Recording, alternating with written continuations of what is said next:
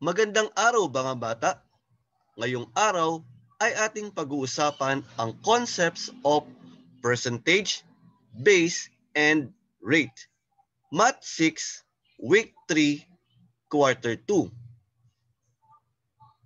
Ano nga ba ang tinatawag nating percent? Sabi dito, it means per hundred, hundred, or by the hundred. It is a ratio that compares a number with 100. This symbol is used to show percent. 100% represents a whole. So mamaya ay mas malalaman pa natin kung ano nga ba ang percent. Samantala, ang percent ay related sa mga previous lesson natin tulad ng ratio, decimal, and fraction. Kaya naman, i-apply natin or i-relate natin ang percent kay decimal at kay fraction. Handa ka na ba? Tara, at simulan na natin.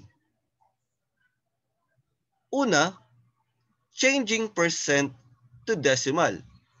Paano nga ba tayo mag-change ng isang percent at gagawin natin itong decimal? Madali lang. Move the decimal point two places to the left and drop the percent sign. So sundin lang natin yung step na binigay sa atin kung paano ba mag-change ng percent to decimal. So let's have an example. Example number one, we have 25%.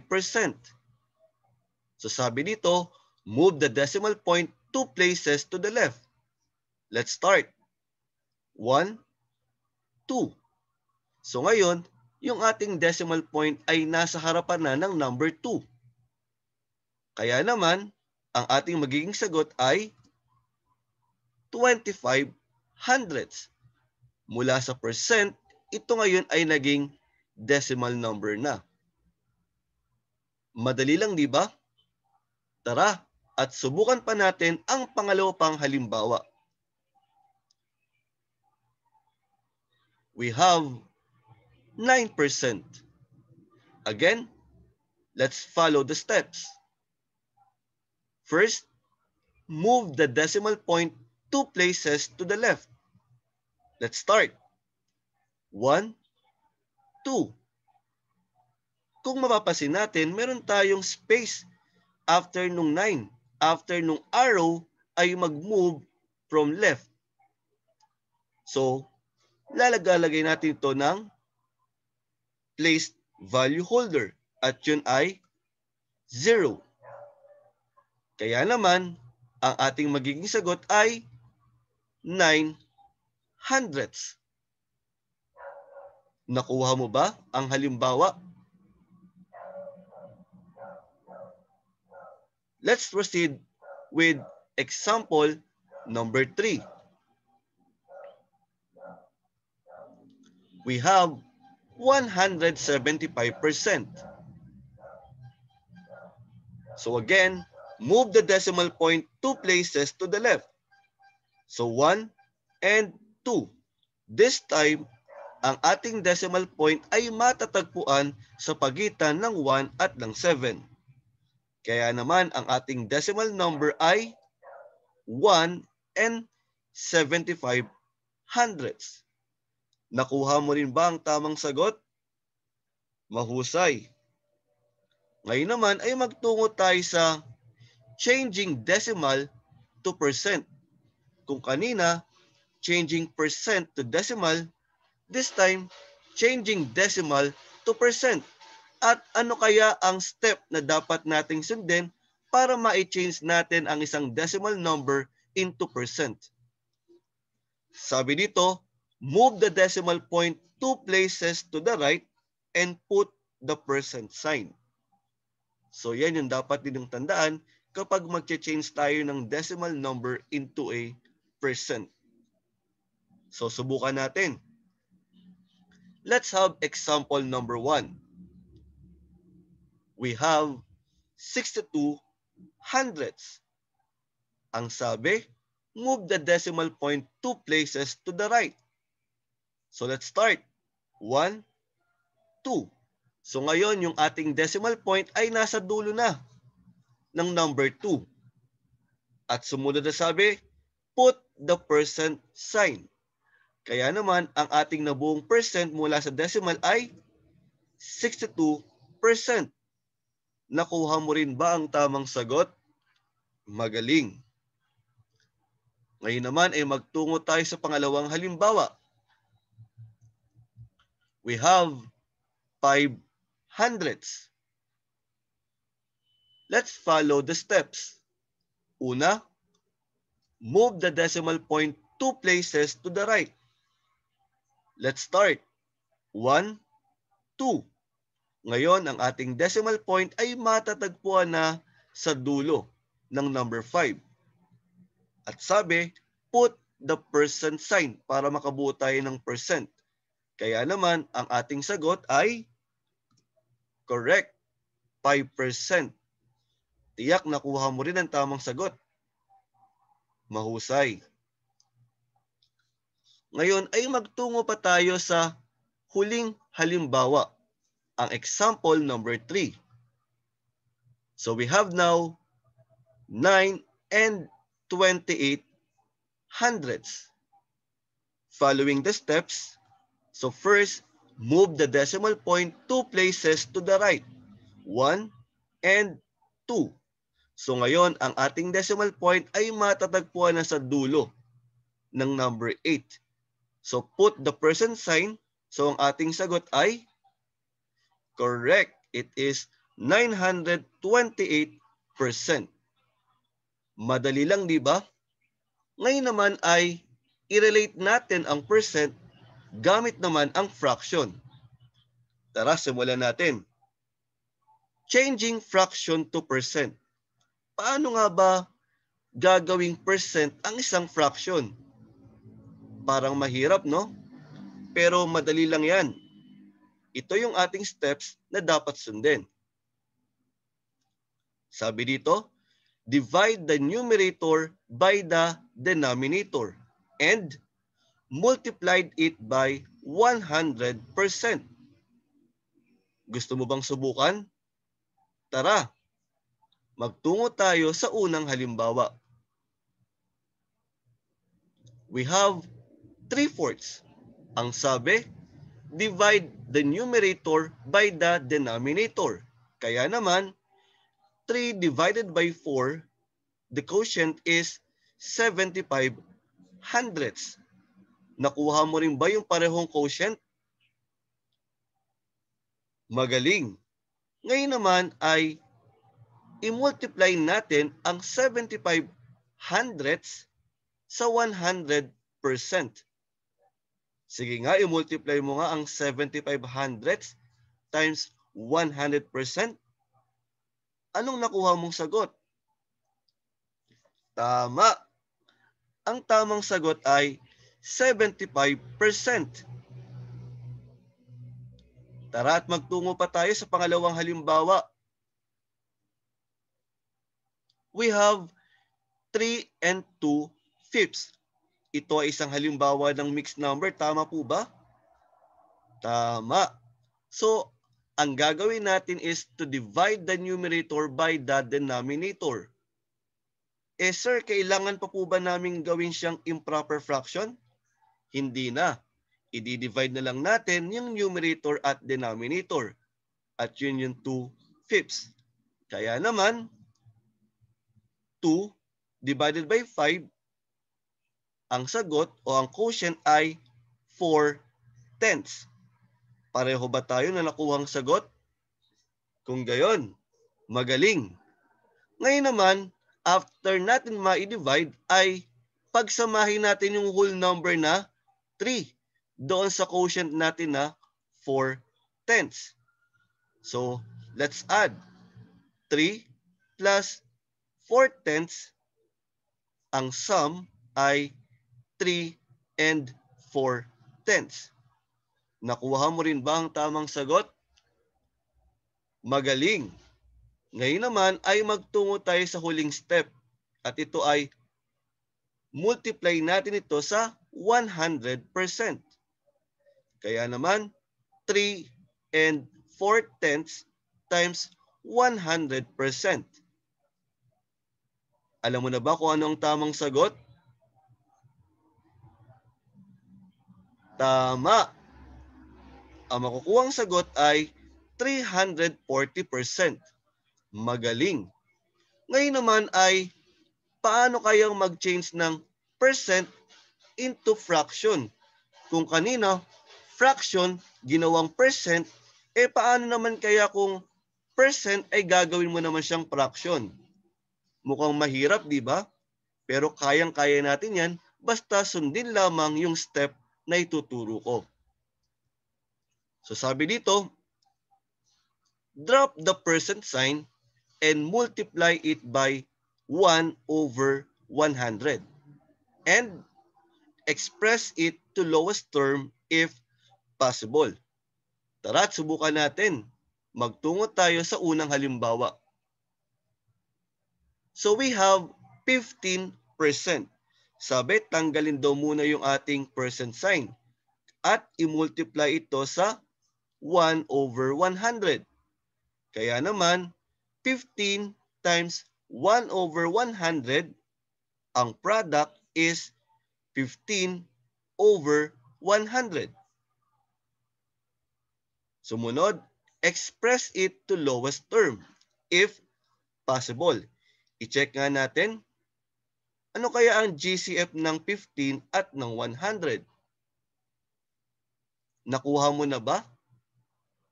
Tama. Ang GCF ng 15 at ng 100 ay 5. Kaya naman yung ating numerator at denominator ay pareho nating i-divide sa 5. 15 divided by 5. Tama, ang sagot ay 3.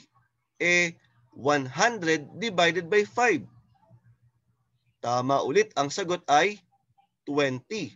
Kaya naman, ang 15 over 100 ay magiging 3 over 20. Madali lang, di ba? Ngayon naman ay ating pag-aralan ang konsepto ng percentage, ng rate at ng base. Ano nga ba ang tinatawag nilang percentage? Sabi dito, the number or amount that represent a part of a whole. So, familiar sa atin yung salitang part of a whole. Tila ba ito ay tumutukoy sa fraction or bahagi lamang ng isang kabuuan. At yan ang katangian ng percentage. Siya ay bahagi lamang ng isang buo. Eh how about yung rate? Ano naman kaya yung rate? Sabi dito, the number with percent symbol or the percent to be taken from the whole quantity. Aba, mukhang madaling matandaan ko ano yung rate, di ba? Kasi sabi, ito yung number na meron daw percent symbol.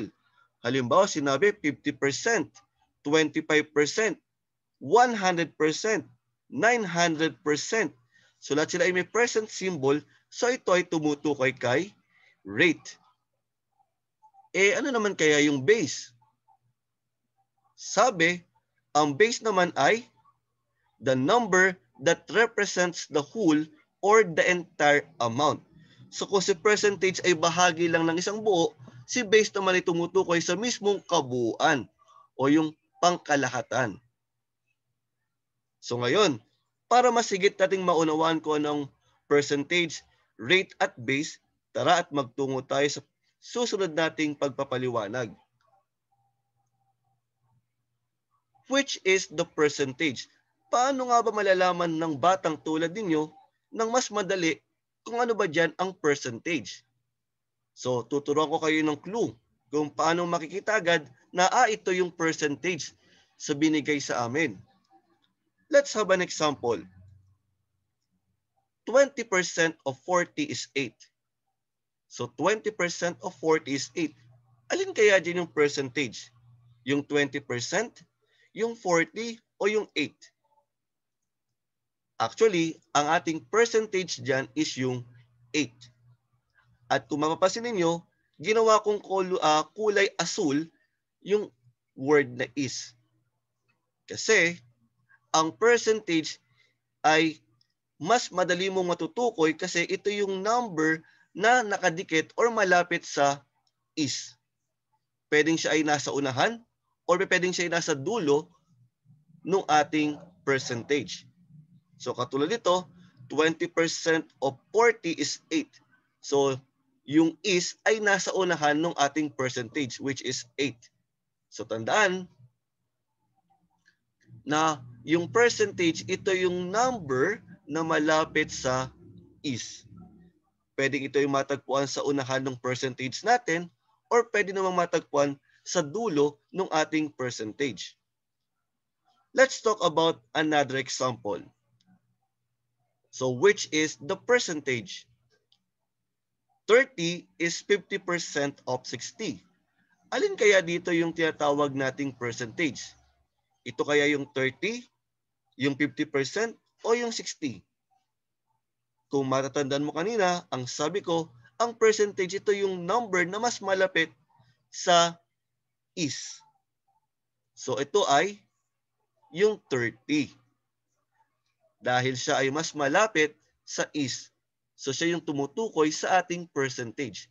So ito ay halimbawa lamang upang mas madali nating ma-identify kung ano ba ang percentage rate at base sa mga given numbers natin. Eh, paano ko naman matutukoy kung ito naman ay rate?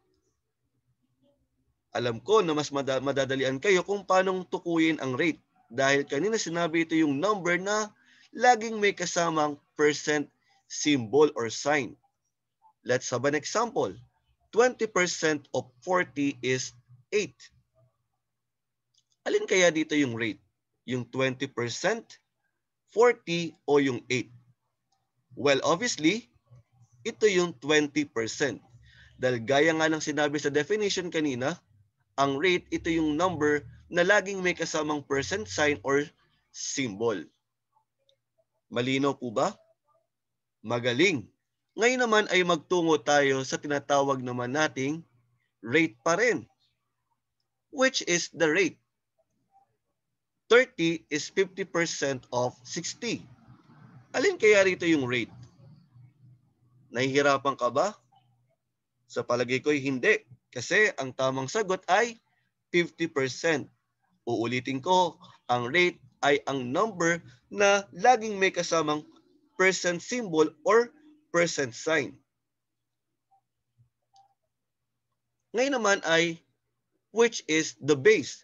Paanong malalaman ng estudyanteng katulad mo kung ano ba yung base dyan sa ating mga given numbers.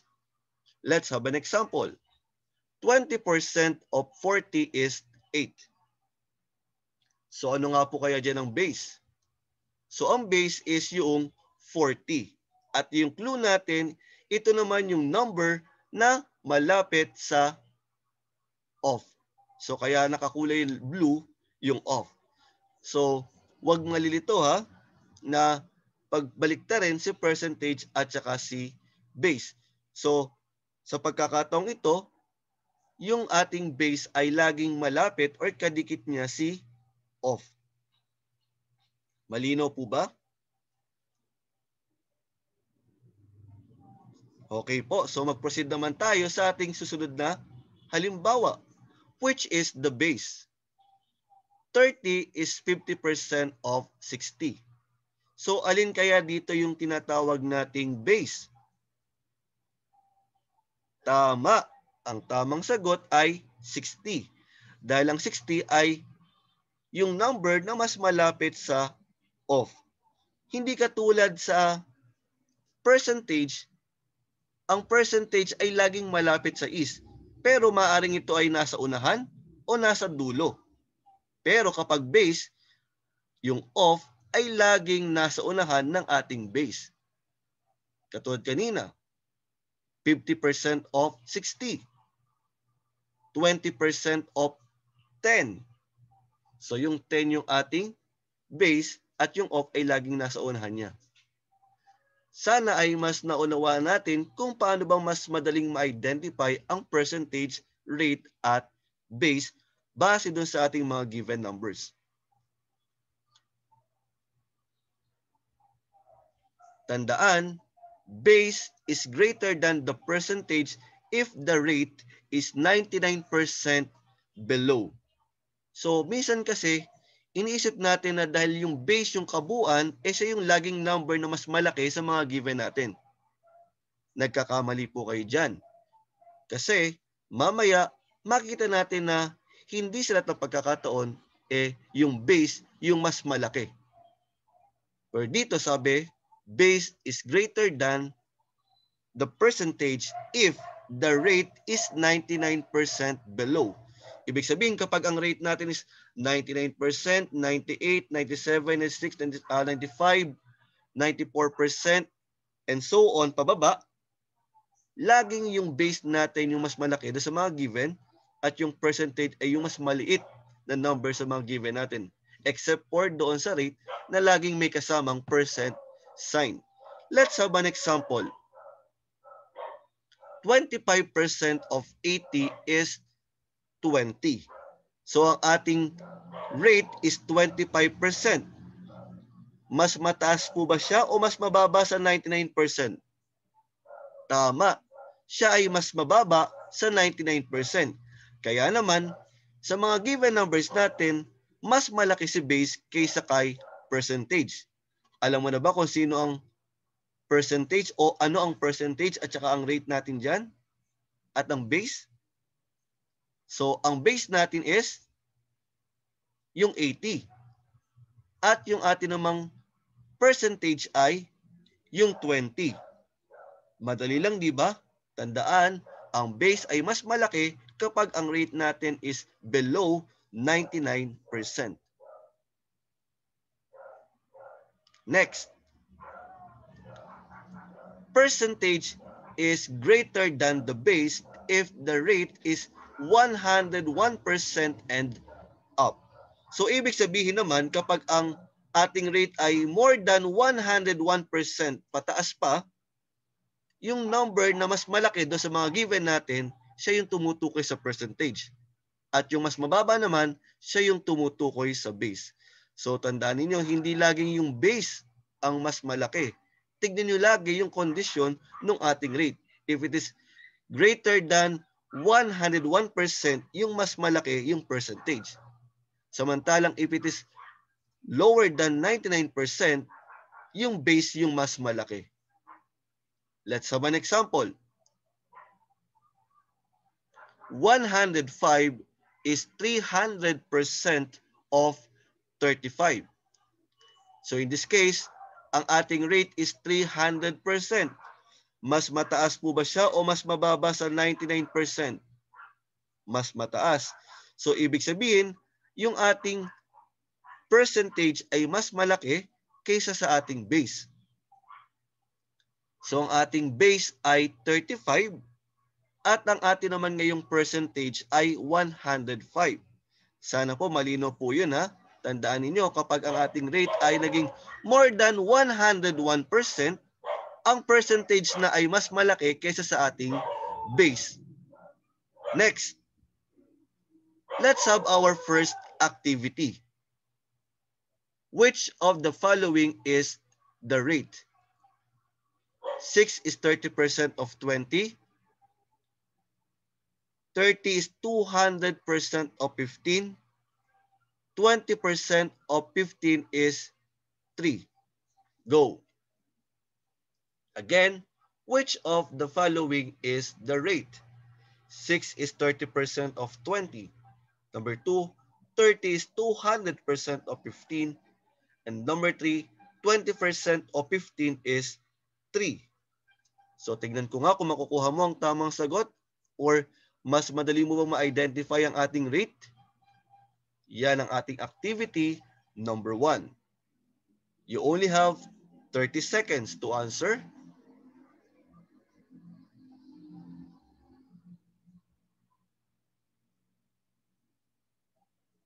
Twenty seconds.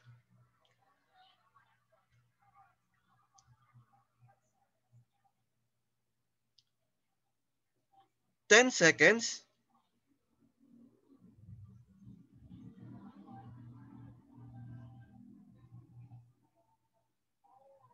Time is up. So ngayon naman ay i-check natin kung nakuha nyo nga ba ang mga tamang sagot. So sa number 1, ang ating rate ay 30%. Sa number 2 is 200%. At sa number 3 naman ay 20%. Nakuha mo bang lahat ang tamang sagot? Magaling!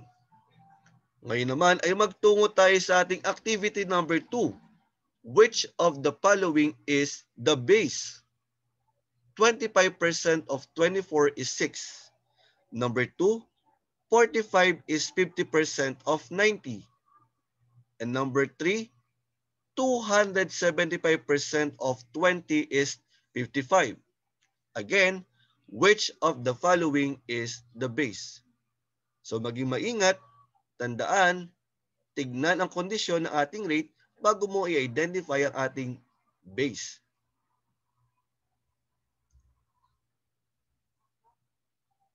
40 seconds.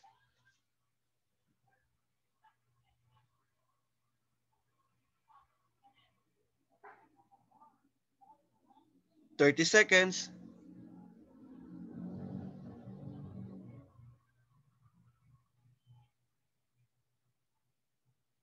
Twenty seconds.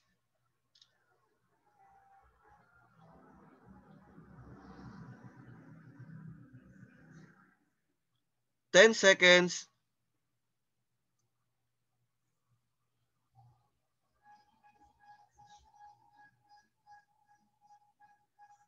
Time is up.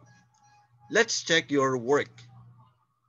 So which of the following is the base? For number 1, ang sagot is 24. For number 2, the answer is 90. And for number 3, the answer is 20.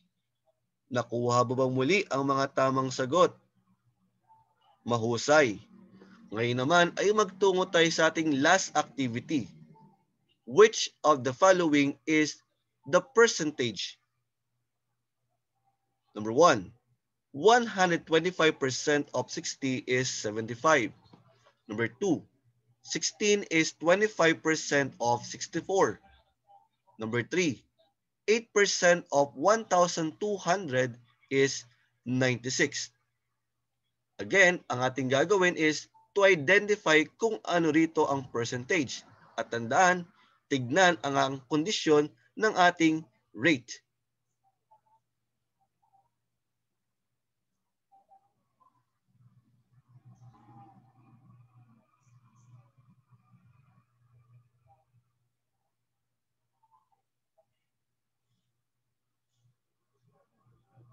Thirty seconds.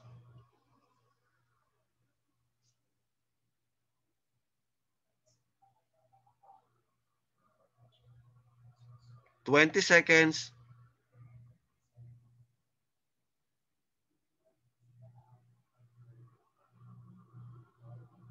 Ten seconds.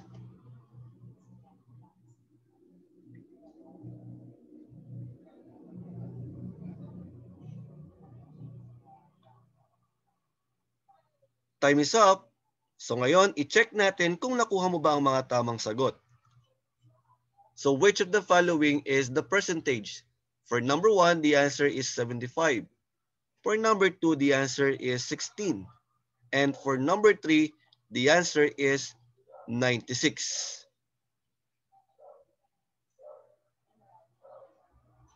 Nawa, yung ating pinag-usapan ngayong araw ay natutunan ninyo ang konsepto ng percentage, ng base at ng rate.